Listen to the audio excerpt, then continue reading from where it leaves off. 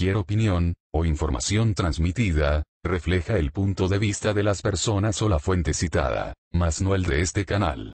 En pleno programa en vivo, Pedro Sola hace fuerte confesión sobre su intimidad. Sin pelos en la lengua el conductor se atrevió a hablar de su adolescencia. Pedrito Sola se ha caracterizado por ser uno de los conductores más queridos de la televisión mexicana, pues sus ocurrencias y su carisma han logrado conquistar cientos de corazones. Pedro Sola no deja de sorprender al público del programa Ventaneando y una vez más hizo de las suyas contando una anécdota muy bochornosa la cual quedó captada en video.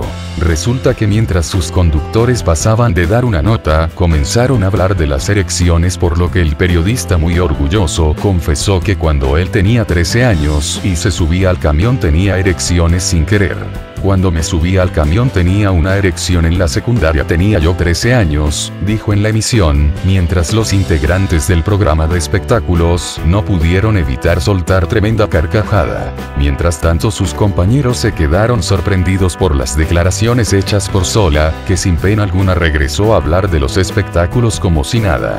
Por su parte los usuarios de redes sociales comenzaron a hacer todo tipo de comentarios. Suscríbete para más videos.